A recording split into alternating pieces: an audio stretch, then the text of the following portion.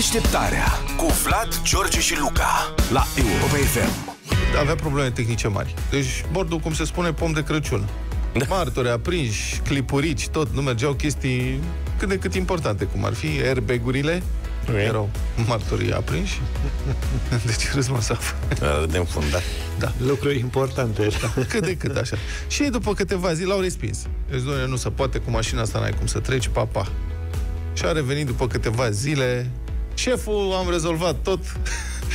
Gata, am remediat în neconformitățile constatate. Au anunțat cei de la Registrul Român, uh, Registrul Auto Român pe pagina de Facebook.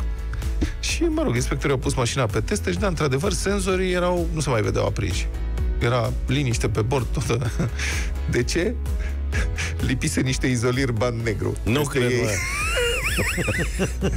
Potrivit principiului să reparăm de aceea cu un ciorap da.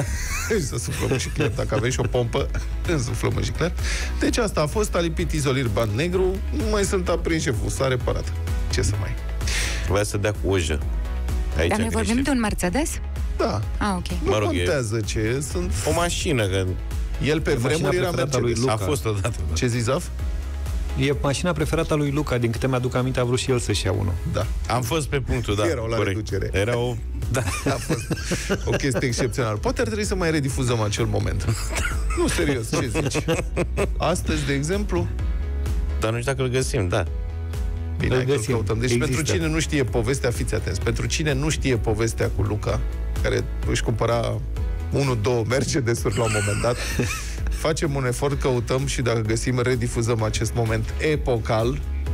Da. Dar eu cred că era invidios și pe faptul că și prietenii lui erau tentați să-și ia Mercedes, știi? Atunci. Și n-ar fi fost singurul din gașcă. Da, poate că da. Mă rog, ca să revenim la domnul cu izolir Bandu, autovehiculul a fost din nou respins la ITP, iar ăștia de la RAR, ia mă că sunt și ei pe net, știu cu meme cu de-astea, zic uh, Citez acum. Urmăriți-ne pagina pentru mai multe trucuri despre cum descoperim neconformitățile autovehiculelor pe care le verificăm. Am încheiat citatul, au transmis și ei de la RAR. Deci asta este cum descoperi ei care sunt trucurile. Se uită dacă e lipit izolir band peste, Da. peste Ne-am senzori. prins. Deșteptarea cu Vlad, George și Luca la Europa FM.